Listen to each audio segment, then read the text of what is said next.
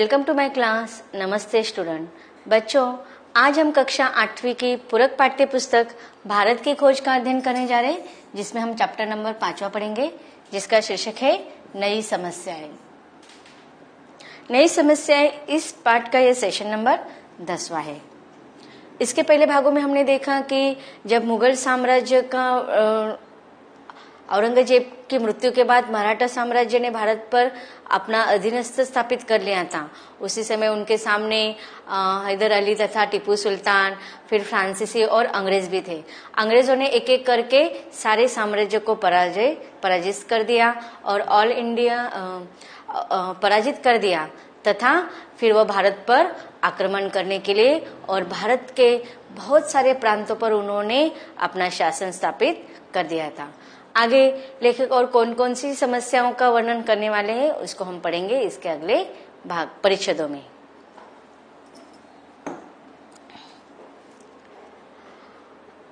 आगे का जो परिषद है, इसको लेखक ने पॉइंट दिया है, रंजीत सिंह और जय सिंह। इसमें लेखक ने रंजीत सिंह और जय सिंह का वर्णन किया है। आतंक के इस दौर में जनता सामान्यतः त्रस्त और पस्त ज़रूर थी, पर अनेक व्यक्ति ऐसे अवश्य रहे होंगे जो उस समय सक्रिय नई शक्तियों को समझना चाहते होंगे, लेकिन घटनाओं की बाढ़ ने उन्हें दबा दिया और उनका कोई प्रभाव न पड़ सका।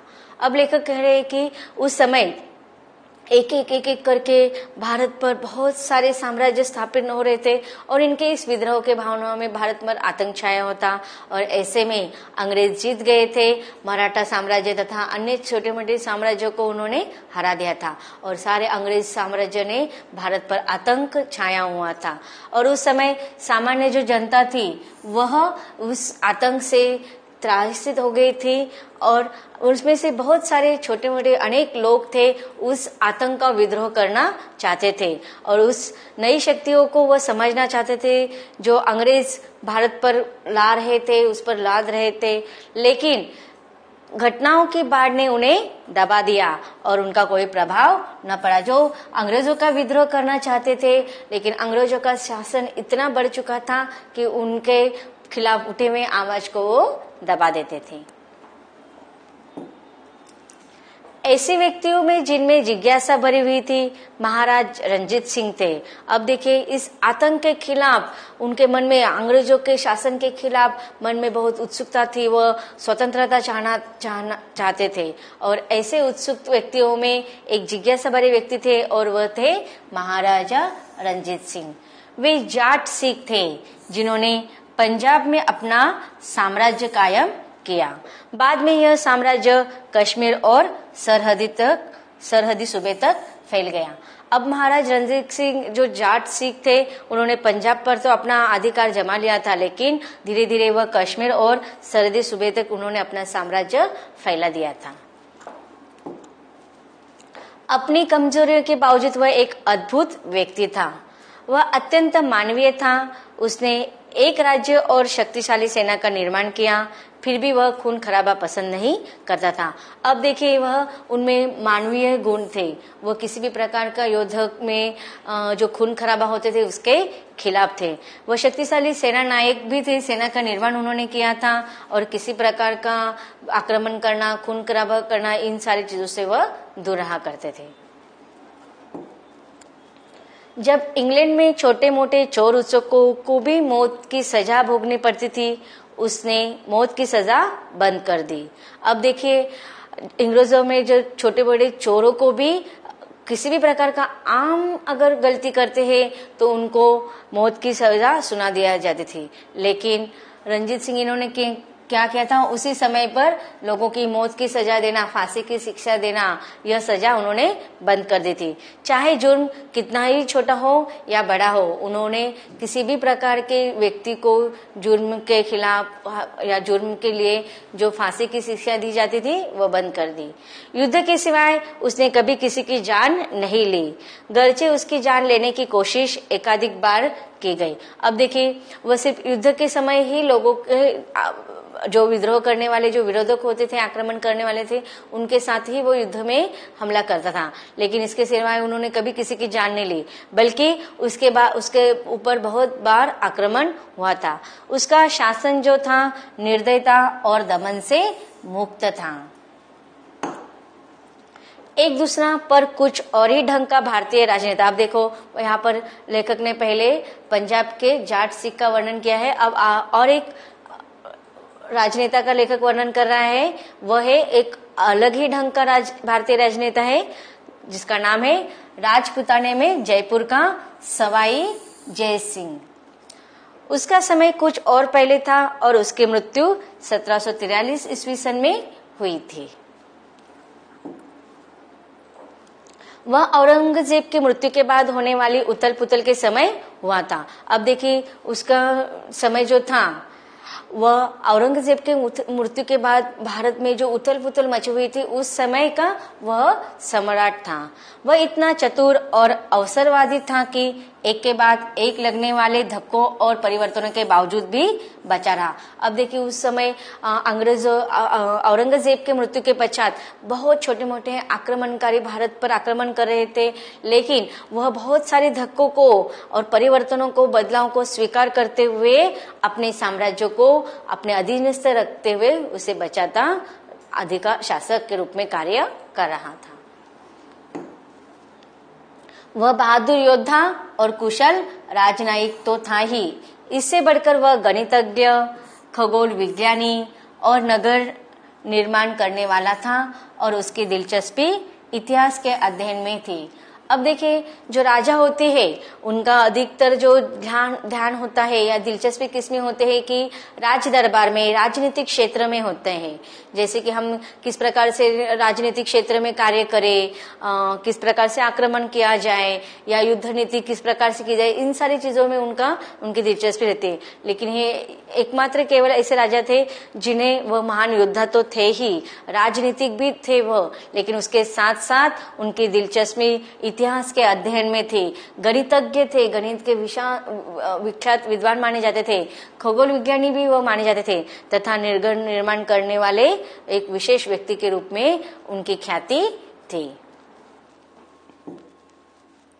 जय सिंह ने जयपुर, दिल्ली, उज्जैन, बनारस और मथुरा में बड़ी बड़ी वेदशालाएँ बनाए। अब देखिए, समय के अनुसार परिवर्तन होना चाहिए, सामाजिक परिवर्तन होने चाहिए। अब उसका जो काला, समय का कालावधि था, उसके अनुसार वह बहुत सारे नई नई चीज़ों की निर्मित अपने राज्यों के अधीनस्थ कर रहा था। उसने जयपुर, दिल्ली, उज्जैन, बनारस और मथुरा में बड़ी बड़ी वेदशालाओं की निर्मित की। उसने जयपुर नगर बसाया, उसने उस समय के कई यूरोपीय नगरों के नक्शे इकट्ठे किए और फिर अपना नक्शा खुद बनाया। अब देखिए उसे जब जयपुर नगर की निर्मित करनी थी तो उस समय बहुत सारी यूरोपीय नगरों के नक्शा उसने अपने साथ पास इकट्ठे किए, उसका संक्षिप्त से अध्ययन किया और संक्षिप्त के अध्ययन करने के बाद ही उसने फिर से अपना नया खुद का नक्शा बनाया।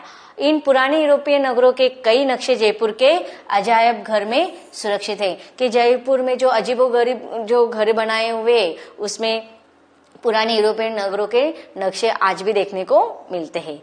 जयपुर नगर की योजना को अब भी नगर निर्माण का आदर्श समझा जाता है। कि देखो जयपुर नगर की जो रचना की है, जो निर्मित की है, आज भी वह अद्भुत रचना के रूप में जाना जाते हैं। लगातार युद्धों और दरबारी षड्यंत्रों के बीच अक्सर खुद उलझे रहने पर भी जयसिंह ने बहुत कुछ किया।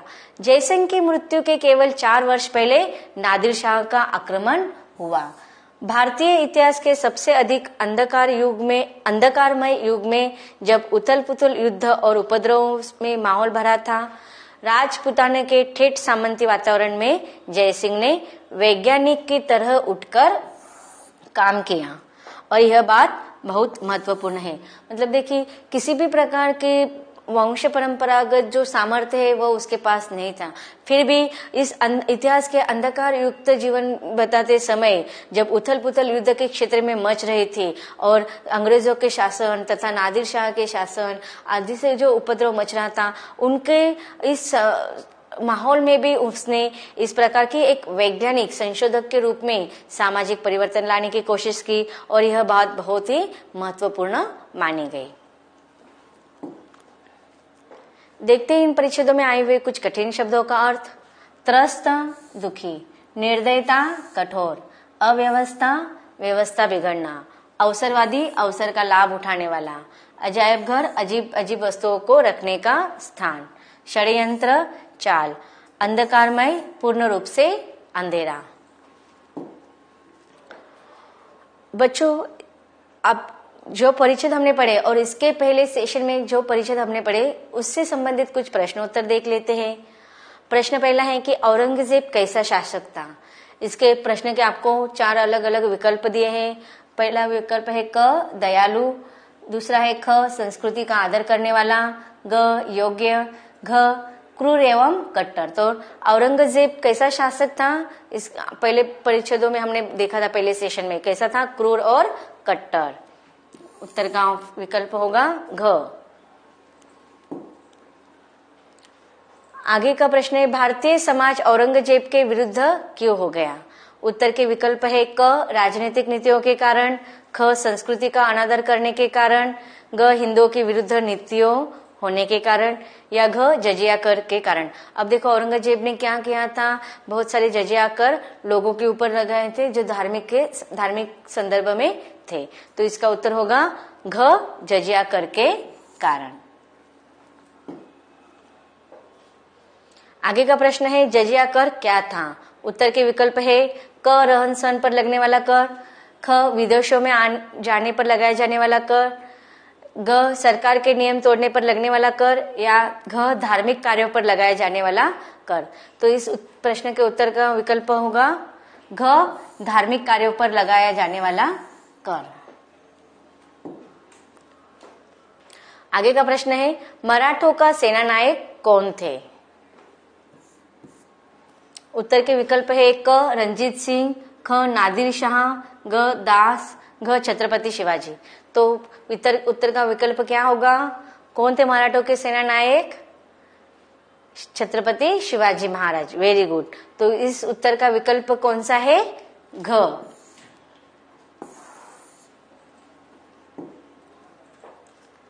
आगे का प्रश्न है, शिवाजी की युद्ध पद्धति क्या थी? देखते हैं उत्तर के विकल्प में कौन कौन से उत्तर दिए हैं। क, प्रत्यक्ष रूप से सामना करना। ख, घोड़ों पर सवार होकर युद्ध करना। ग तीरंदाजी द्वारा या घ छापामार पद्धति द्वारा। अब देखिए यहाँ पर जो दो उत्तर है वो समान लग रहे जैसे कि घोड़ों पर सवार होकर युद्ध करना यह भी शिवाजी महाराज के युद्ध की पद्धति थी। और दूसरी कौन सी? छापामार पद्धति द्वारा। लेकिन यहाँ पर हमें पता है कि शिवाजी महाराज की जो युद्ध पद्धति थी, वो छापामार, गुलेहरी वॉल उसे हम बोलते हैं। हाँ? तो इसका उत्तर, सही उत्तर क्या होगा? घ छापामार पद्धति द्वारा।